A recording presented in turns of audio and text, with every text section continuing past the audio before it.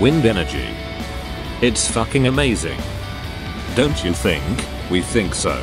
In fact, you can call me the wind turbine hunter. It's like the MILF hunter, but with a lot less sex. In fact, no sex at all. Anyway. These are some turbines I came across while driving around Addison, Texas, a suburb of Dallas. They're made by a company called UGE. UGE builds solar and wind solutions in over 90 countries.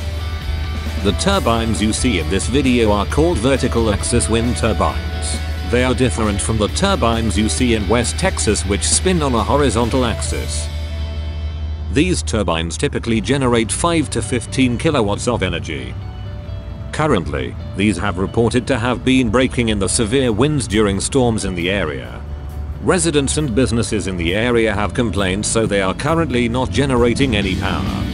Oh, and, speaking of power, I want you to remember, with great power, comes great responsibility.